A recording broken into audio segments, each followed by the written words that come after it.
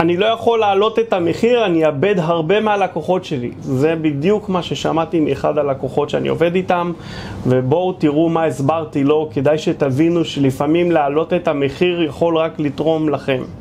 אז אה, קודם כל שלום לכולם.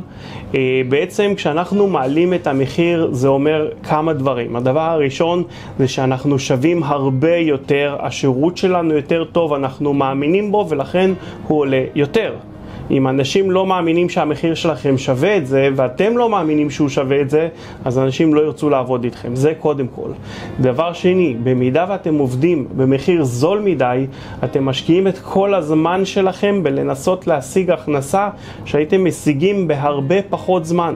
לדוגמה, אם תסתכלו פה על המסך, בעל עסק שעבדתי איתו, היה אה, מספק שירות במחיר של 200 שקלים לשעת עבודה. היו לו כ-100 לקוחות בחודש וההכנסה שלו הייתה 20 אלף שקלים.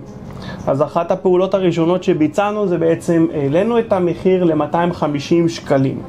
עכשיו, הוא פחד לאבד לקוחות, אז הדגמתי לו שגם אם נאבד 20% מהלקוחות ונהיה רק עם 80 לקוחות, עדיין במחיר של 250 שקלים נגיע לאותה הכנסה, מה שבעצם אומר שהוא יעבוד פחות ויעשה את אותו כסף.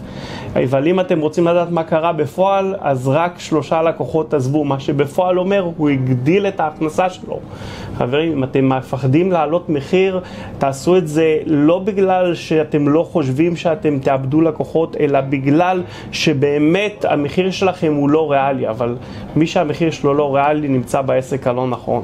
אז חבר'ה, להעלות מחיר זה לא רק לגיטימי, זה גם חובה כדי להגדיל את העסקים שלכם. יום טוב לכולם.